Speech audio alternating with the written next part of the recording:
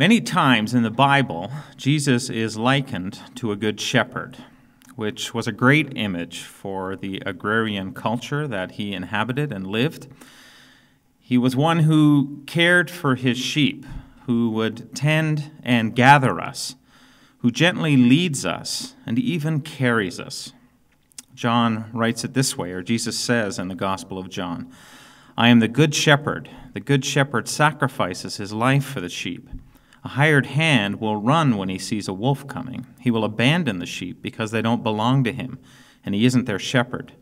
And so the wolf attacks them and scatters the flock. The hired hand runs away because he's working only for the money and doesn't really care about the sheep. I am the good shepherd. I know my sheep, and they know me. Christ knows us. Jesus knows you. You belong to God. You are His. You belong to Him, and He belongs to you. Do you really know that this Christmas season? In the middle of whatever confusion or stress or anxiety or difficulty, if you're feeling lost, not sure of who you are or where you are or what time it is, do you know the guiding hand of this shepherd? Can you feel it on your shoulder? Do you hear the gentle whisper of his spirit?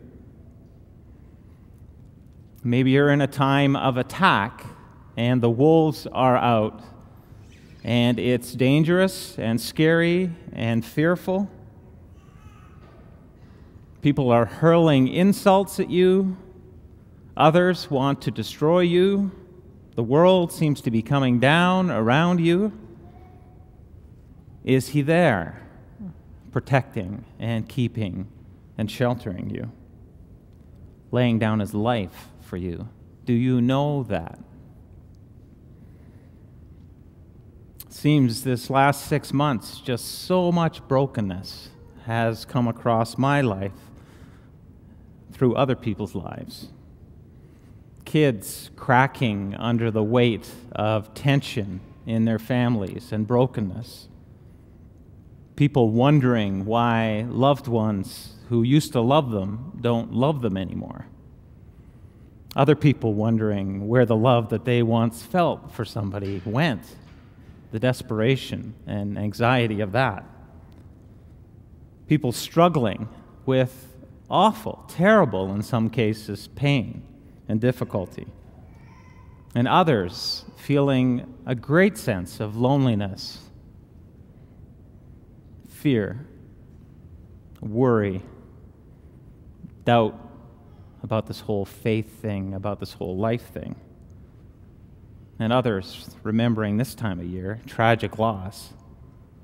I got a call yesterday from a pastor friend of mine, Pastor Phil from River Park Church, and just a short email, and he says, uh, yeah, I just heard that my nephew in Ontario got killed in a car accident today. And he says, We're a wreck, and my sister's a wreck, and her husband's a wreck, and the whole family is a wreck.